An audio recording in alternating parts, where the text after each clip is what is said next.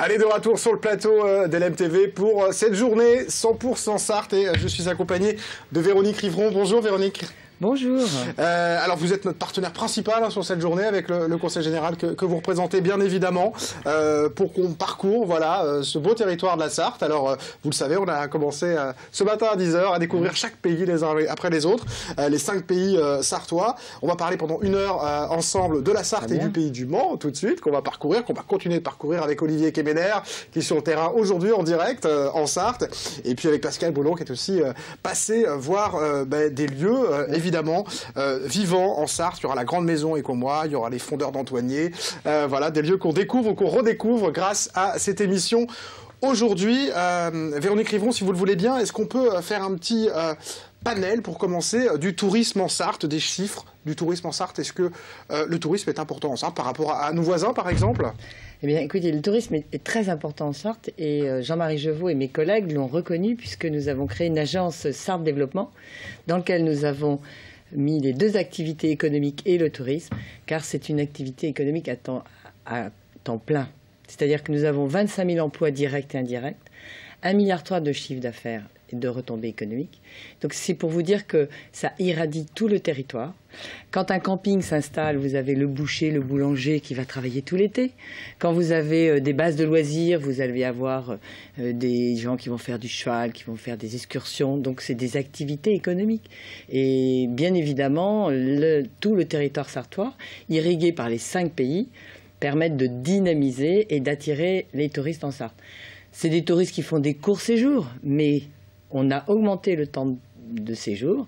On était à environ 2,5 de, de nuitées. Nous sommes partis pratiquement à 3,5 nuitées. Donc nous augmentons le temps de présence dans notre territoire. Qu'est-ce qui fait que du coup le territoire sartois euh, devient attractif? C'est vrai qu'il y a des départements où voilà, quand il y a la mer, quand il y a des choses euh, très évidentes, on se dit voilà, c'est pour ça qu'on vient. Qu'est-ce qui fait qu'on vient en Sarthe aujourd'hui, passer ces deux jours et demi ou ces trois jours? Alors c'est une moyenne, donc il y en a qui restent une semaine, il y en a qui restent un Bien mois sûr. même. Eh bien, ce que l'on offre, c'est que d'abord on n'est pas loin de Paris, à une heure de Paris. On offre un territoire divers et varié parce que nous avons au nord euh, de la montagne, au sud des viticulteurs, mais c'est des pays d'art et d'histoire. Et surtout, nous avons la nature. Et nous avons la nature avec une, ville chef-lieu qui est centrale, très peu éloignée de- de- des points de, de la Sarthe, avec les chimères qui animent l'été et qui irradient. Et puis, nous avons aussi des événements importants. Voilà, les grands événements sont des points d'appel, j'imagine, importants. Alors, euh, on a eu l'Assemblée générale euh, du Comité régional du tourisme et euh, Madame Saramito a reconnu que le point d'appel, même pour les Pays de la Loire, c'était Le Mans. Le Mans, c'est la ville la plus connue au monde grâce à sa course des 24 heures. C'est vrai que le Mans, du coup, euh, est un porte d'entrée très importante par, par cet événement qu'est qu'est les 24 heures. Parce que là, pour le coup, euh, mais vraiment à l'autre bout du monde, c'est vrai que c'est incroyable. Vous pouvez être au Japon, vous pouvez être en Australie, vous pouvez être partout. Les gens ne, ne situent rien en France, mais, mais le Mans, ils peuvent vous dire où c'est, quoi. Et oui, grâce à l'automobile. Et puis surtout, bon, on a euh, trois points d'ancrage quand même en France. Il y a Paris, il y a Bordeaux et il y a Le Mans. Ce sont les trois villes importantes. Donc nous sommes la, la ville, une des villes les plus importantes de France pour attirer les Et touristes. du coup, ça, ça permet au département, je dirais, au global, de, voilà, de, de se faire connaître. Alors, on a aussi euh, une tradition. Les, les collectionneurs de voitures, on va voir Le Mans Classique cette année, eh bien, ils se promènent dans le territoire. Il y a des clubs de vieilles voitures. Donc, il y a aussi euh, l'attrait de la campagne avec euh, le patrimoine et puis toute l'activité culturelle qui est proposée. Il y en a pour tous les âges. Vous avez des activités comme Papéa pour les enfants, le zoo de la Flèche, mais vous avez aussi euh, des petites cités de caractère, vous avez les châteaux, les manoirs. On est riche, divers et il fait bon vivre en Sarthe parce que nous avons des produits de terroir, nous avons la qualité de l'accueil.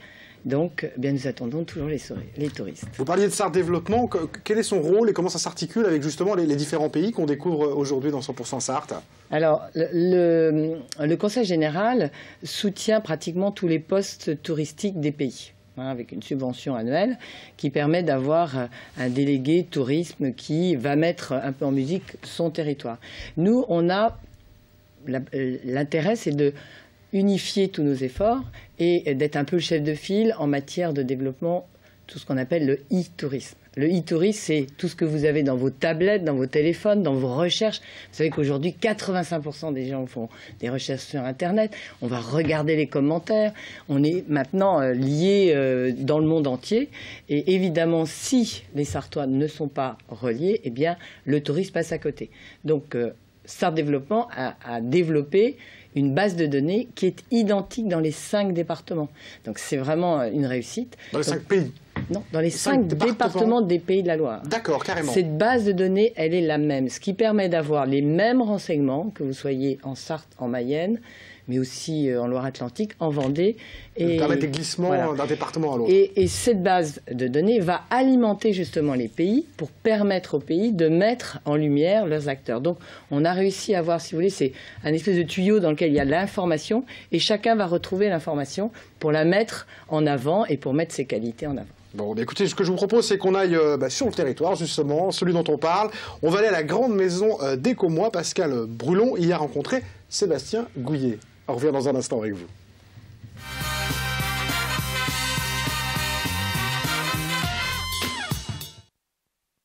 Voilà, nous sommes en pays du Mans maintenant, à, Écomois précisément, avec Sébastien Gouillet. Bonjour. Bonjour. Le premier magistrat. Alors c'est pour ça qu'on a démarré sur euh, une jolie image de la nouvelle mairie. Alors nouvelle mairie, oui, euh, depuis 1984 quand même. Ah oui, 84, d'accord, parce que là on montre l'ancienne, c'est pour ça. Voilà, là nous sommes aussi euh, en vis-à-vis de l'ancienne mairie qui elle a été date du 19e pour sa réhabilitation, on va dire. Vous êtes des spécialistes de la réhabilitation, on va le voir euh, dans un instant en découvrant un truc absolument extraordinaire. Euh, j'espère que je vous donne envie, à vous qui nous regardez, euh, de nous suivre parce que on va découvrir la restauration de la grande maison. Alors, l'alliance de la modernité et de la tradition, notamment en matière de patrimoine, bah, c'est ce que vous savez déjà facilement faire avec moi. C'est le cas dans votre mairie actuelle. Alors effectivement, nous, avons euh, idée de réhabiliter le, patrimoine quand c'est possible, parce que Ecomois a quand même un, certain atout en matière de, de maisons et de patrimoine immobilier. Donc euh, plutôt que de créer des choses entièrement neuves, quand on le peut, on réhabilite. Bon, vous réhabilitez, vous ouvrez euh, des euh, petits passages. Alors là, on va vous faire découvrir un passage qui est absolument euh, d'abord charmant, tout nouveau, qui vous permet d'aller justement à la grande maison et, à la bibliothèque. Oui, alors ici, ça s'appelait un passe Carnot, et puis c'était un endroit pas très plaisant. Et donc, il y a à peu près un an, on a entamé la rénovation et la création de ce passage. Donc, en achetant le bâtiment ici, en ouvrant pour aller vers un nouveau parking et un site, on pourrait presque dire nous sommes ici euh, à l'entrée du vieil Écomois. Écomois au XXIe siècle vient de se créer un, un, vieil Écomois, c'est un petit peu ça. Alors euh, le vieil Écomois avec euh, les vieilles pierres que vous êtes en train de re-amasser pour en, faire un muret à droite de ce nouveau parking. Oui, donc euh, l'objectif c'est de créer aussi du stationnement pour les besoins de nos commerces, mais aussi là, on, du coup, on, dessert un, bâtiment très ancien qu'on va découvrir, la bibliothèque municipale, et on essaie de, bah, de reconstruire des murs en pierre à l'identique de ce qu'il y avait avant, parce que là, on a, quand même euh, rasé des, murs euh, en pierre et disons de, joindre le fonctionnel à l'architectural et au touristique même. Euh, comment est riche au bout du compte en, matière d'architecture parce que effectivement cette bibliothèque euh, qui doit être du 18-19e euh, est, plutôt sympathique mais alors elle a en vis-à-vis voilà l'œuvre du moment alors du moment et pourtant elle date du 15e. Oui, fin du 15e siècle au tout début du 16e. Donc ce, bâtiment qui s'appelle la Grand Maison, on ne sait pas vraiment ses origines euh, parce qu'on a peu de traces écrites. En tout cas, elle est là depuis très longtemps et beaucoup d'écoméens l'ont fréquentée puisque ça a été une école, une école privée et même une maison de charité au 19e siècle euh, suite à l'initiative des sœurs d'Evron qui ont euh, qui ont ici implanté donc cette structure d'accueil des, des nécessiteux et puis d'instruction des jeunes filles donc il y avait vraiment une, envie de voir ce, site revivre sur Ecomois parce que c'était à l'abandon euh, depuis, depuis très longtemps, depuis 25 ans. C'est un, un, site ancien qui redevient euh, fonctionnel et totalement fonctionnel, tout en préservant euh, justement un, un, cachet, ce cachet que vous allez euh, découvrir avec une très très belle cheminée euh, ici euh, d'époque monumentale. Alors, évidemment, elle fonctionne plus, hein, ça va sans dire. vous avez osé aussi les couleurs. On va le voir à travers.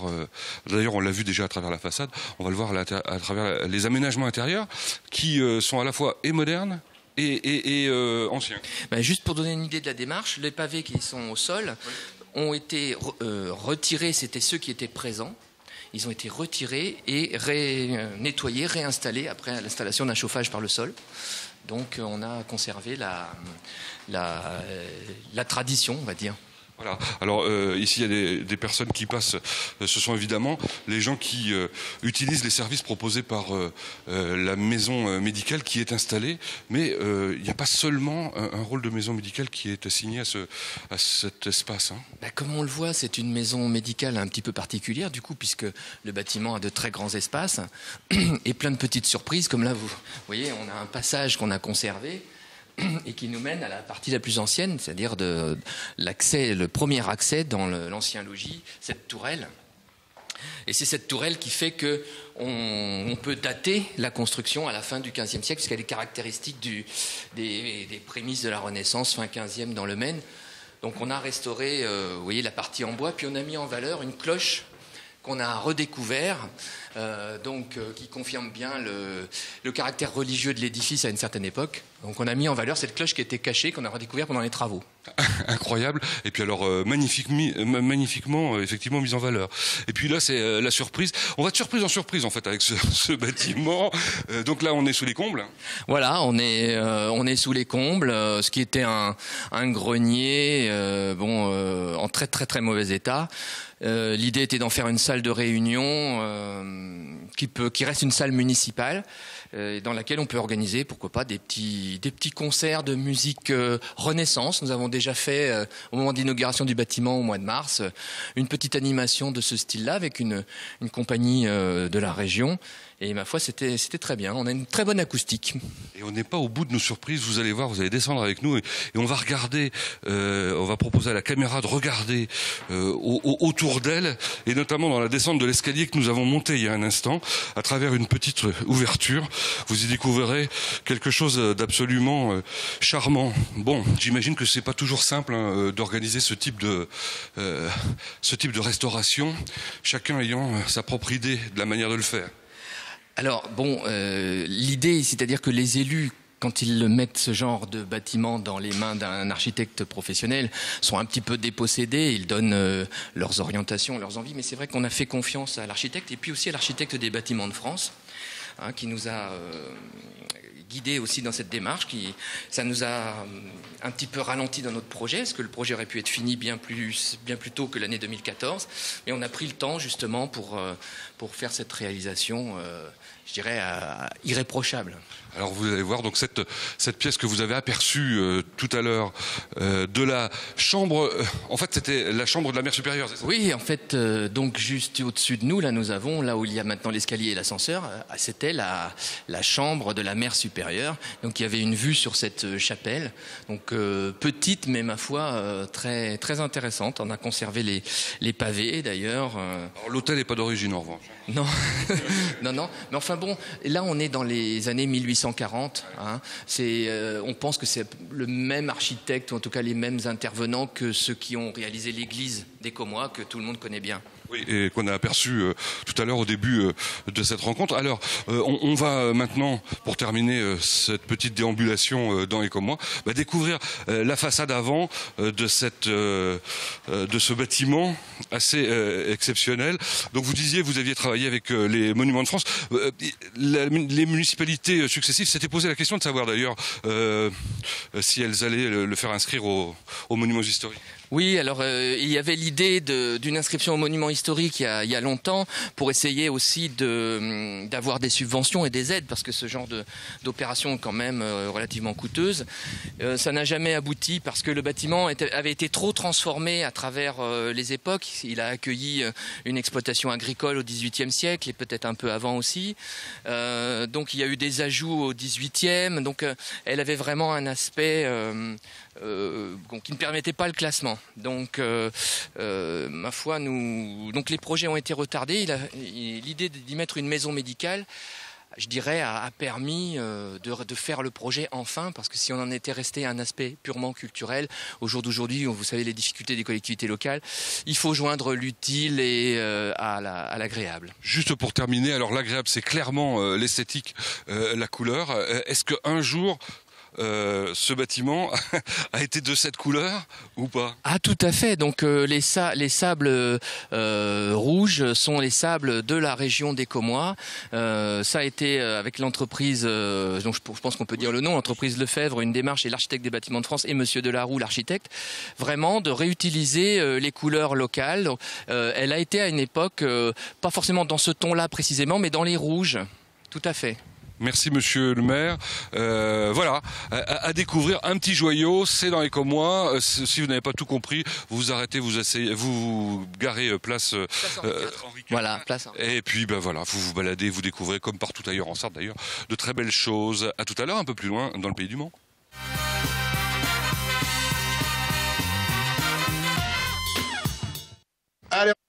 100% Sarthe, voilà. Je suis toujours avec Véronique Rivron euh, et on a été rejoint par euh, Jean-Claude Boulard, euh, président du Pays du Mans. Ça tombe bien parce que c'est l'heure dans laquelle on parle du Pays du Mans. Bienvenue. bien sûr, merci. Merci d'être avec nous. Merci de nous avoir invités. On parlait il y a un instant avec Véronique Rivron bah, de la Sarthe, mais aussi bah, de l'importance de cette ville centrale qu'est le Mans, qui est un point important d'accroche pour, pour ce territoire sartois. Oui, parce qu'il est au milieu, tout simplement. Enfin, vous savez, sur la Révolution, ils ont fait les départements. Il ne faut pas qu'on les oublie comme les champs de proximité.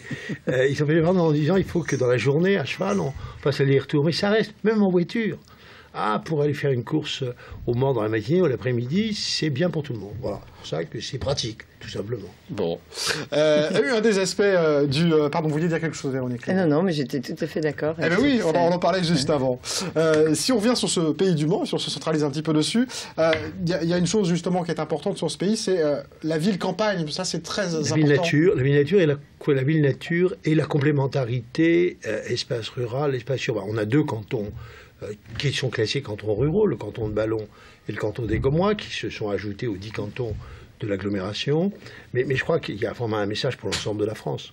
Aujourd'hui, peut-être en, Lozère, en Corrèze ou les départements de montagne, je pense que là, le monde rural doit encore exister. Mais dans la plupart de nos départements, ce qui peuple aujourd'hui ce qu'on appelle l'espace rural, ce sont des urbains.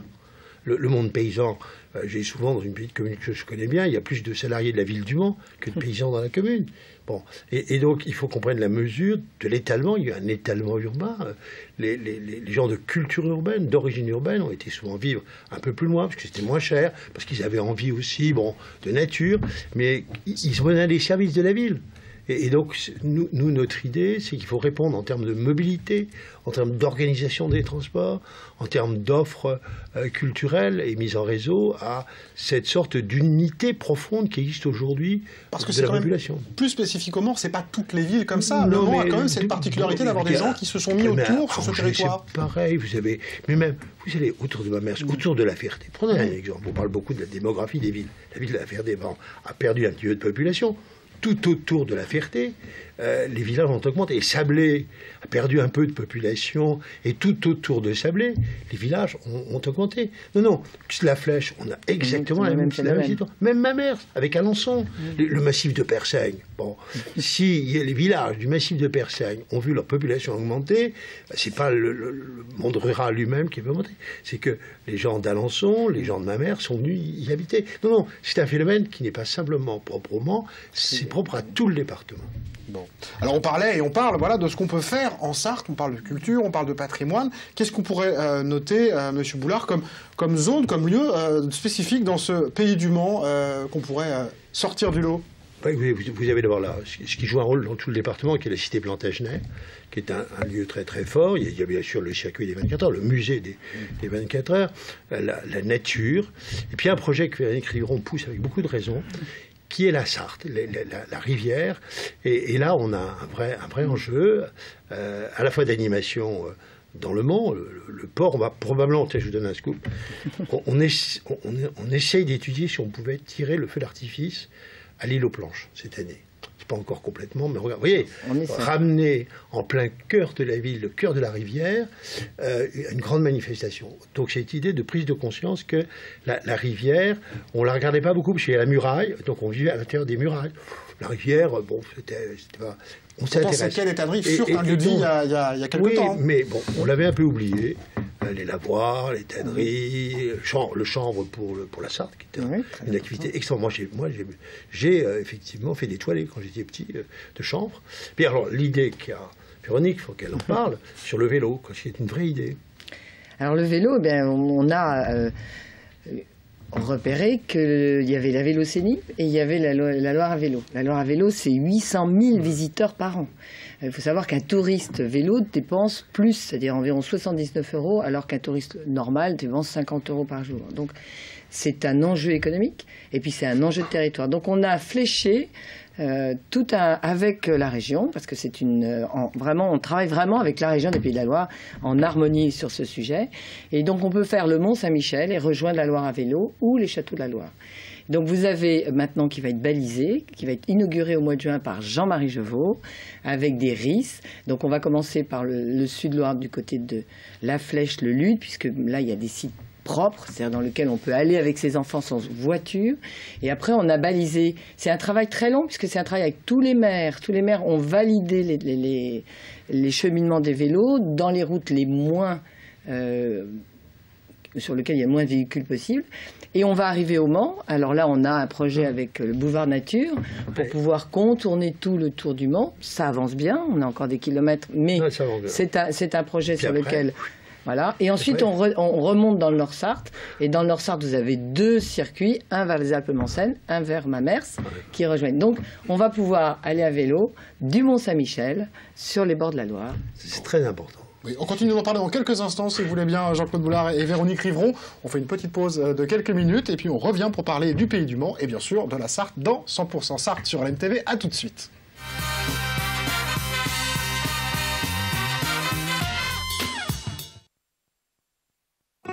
100% Sarthe, 100% saveur avec les rillettes Albert Lhuissier.